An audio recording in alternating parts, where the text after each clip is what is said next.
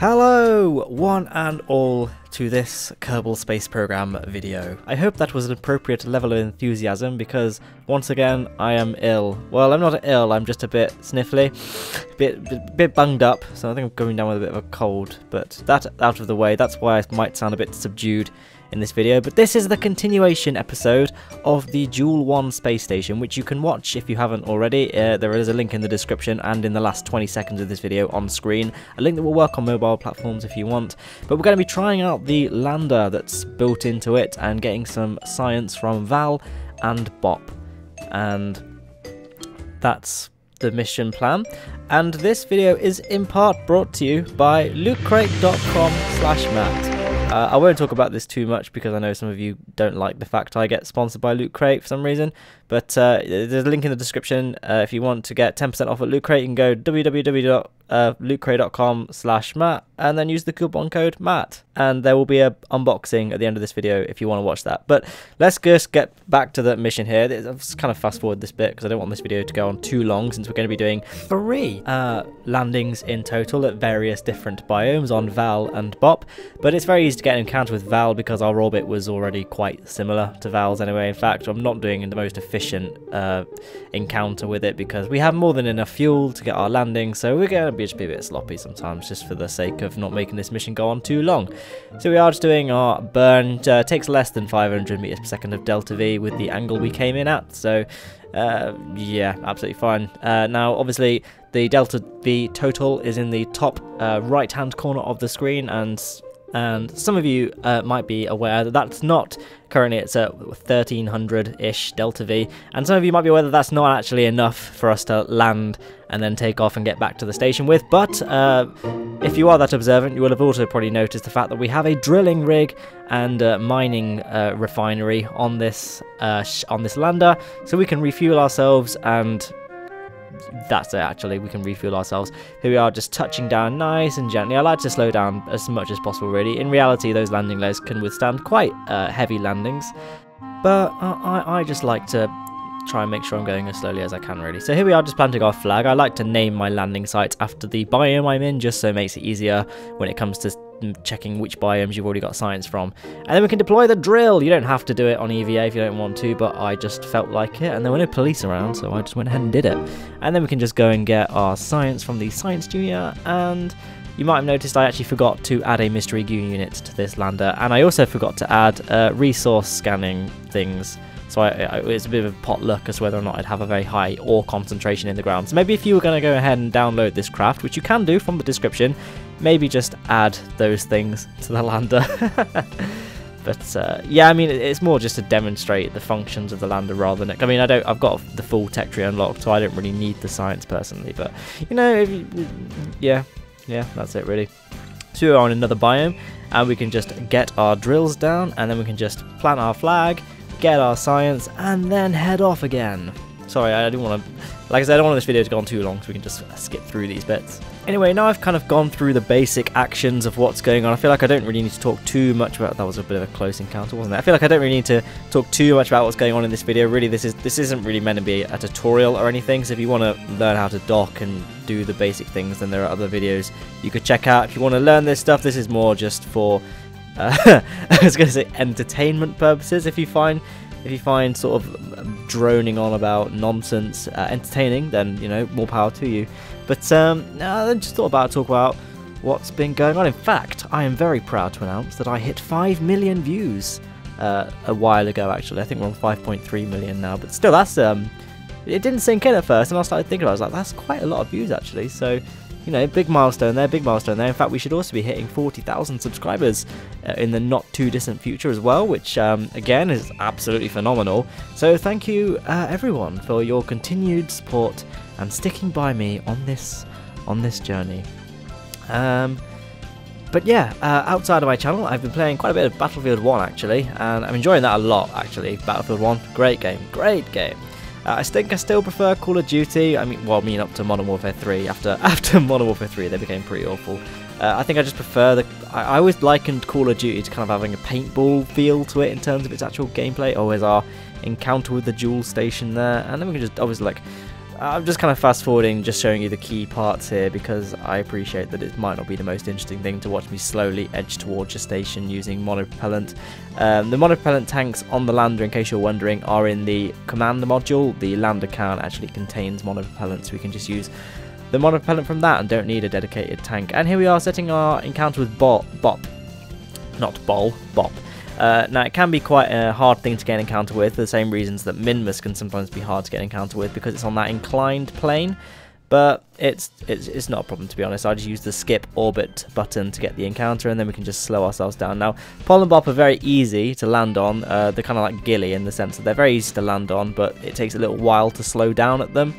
Uh, as you can see, it's going to take just over 500 delta V to match our speed to Bop's, but then once we actually capture it, yeah, obviously it very quickly circularizes. In fact, we're going to go straight down to landing, not bother circularizing around it because, you know, I wasn't bothered about landing at that one particular Easter egg on this planet because I like to keep my videos. I know some people don't like seeing uh, air quotes spoilers. I, know, I don't, really, I don't know if you consider it a spoiler, but there we are, touching down very slowly again, even though Bop you can smash down at very high speeds and it doesn't make a difference. So here we are, grabbing our science and going on our EVA spacewalk on Bop, and not a lot more to say about that really. Uh, just use the drill, use the uh, mining rig, and we can set off again. In fact, I thought I was going to do another landing at Bop, uh, but now, come to think of it, I don't think I do, because there were no police around, and I can't be controlled sometimes. Um, that's just how I live my life.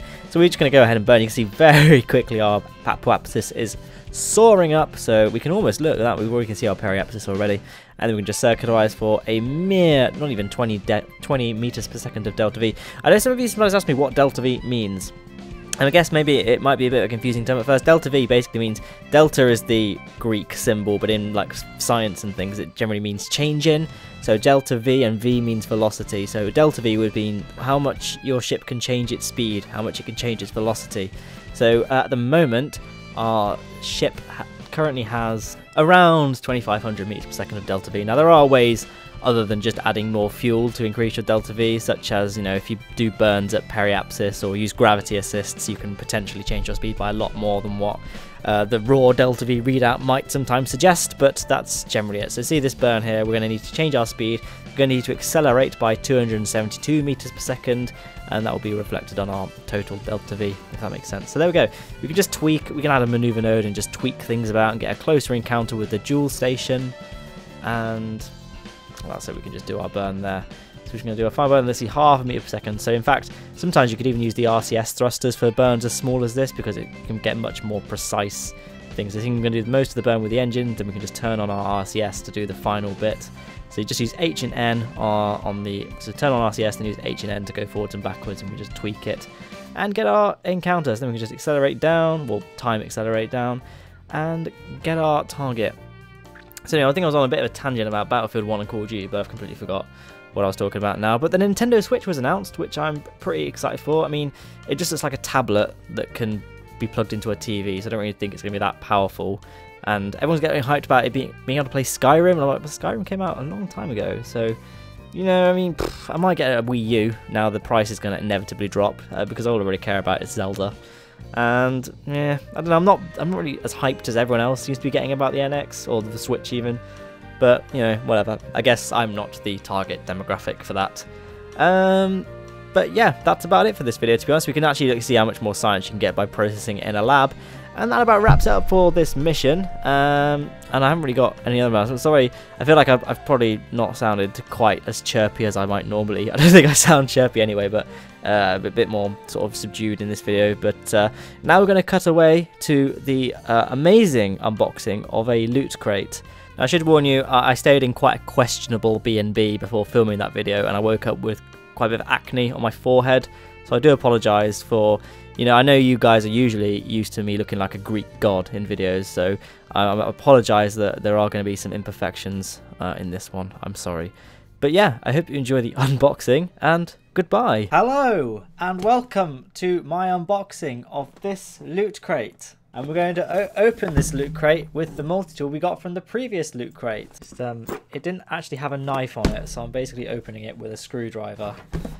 Can we get camera down a bit. Uh, as you can see, I've dressed up a bit more for this video because um, I wanted.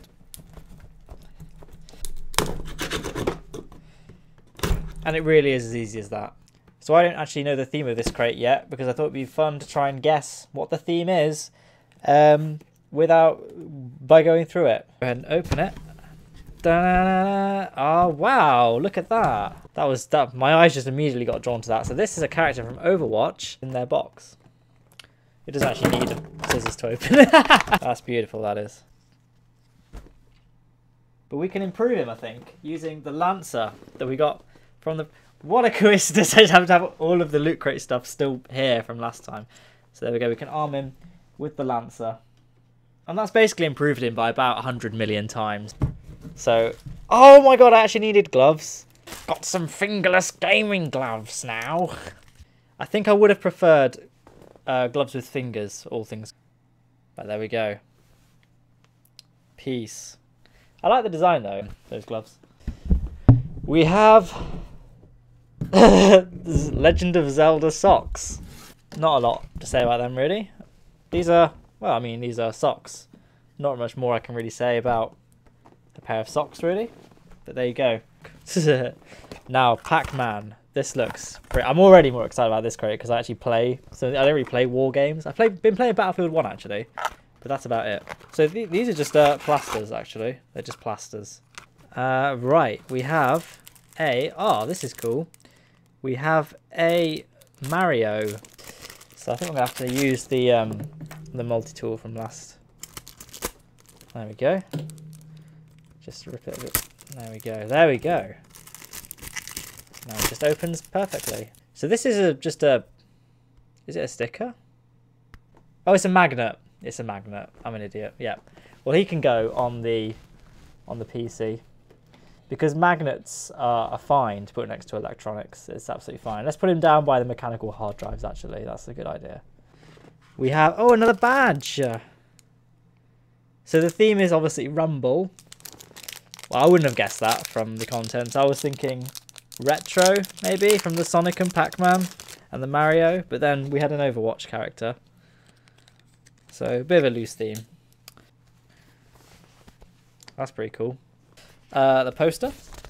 So I can't see this yet, so I hope it's good. Ah, that's pretty good. I like that. Now this looks like a Titanfall shirt, but it's quite a cool shirt.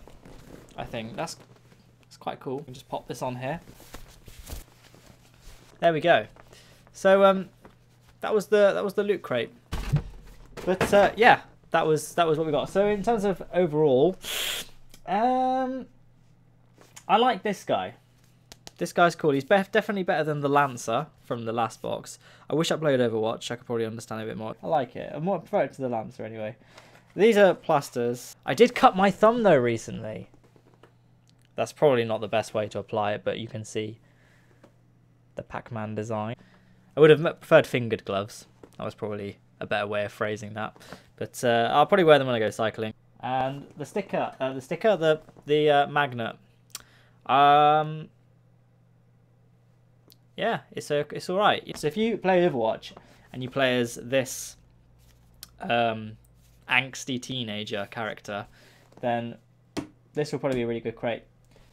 But uh, yeah, don't know.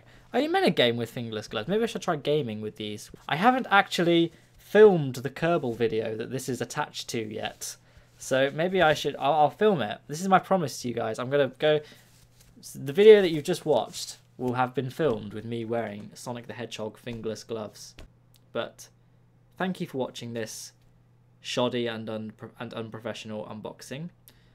And I will see you around.